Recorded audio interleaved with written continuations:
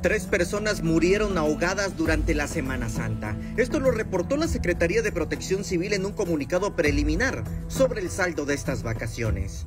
Los hechos ocurrieron en Palenque, Maravilla, Tenejapa y Chenalo y se ahogaron por inmersión.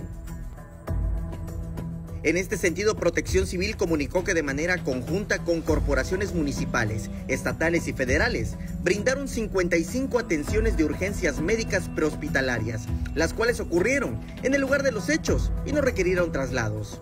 También realizaron 8 rescates y atendieron a 15 lesionados a quienes tuvieron que trasladar a hospitales, en tanto que también hubo atención de un accidente automovilístico, pero no representó mayor problema porque hubo lesiones menores.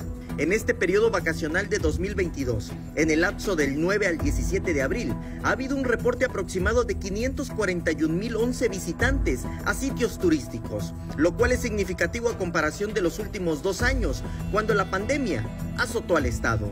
Por el tema de la contingencia del COVID-19, el gobierno de Chiapas estableció que el aforo se redujera al 75%, a pesar de que el semáforo esté en verde. Samuel Revueltas, Alerta Chiapas.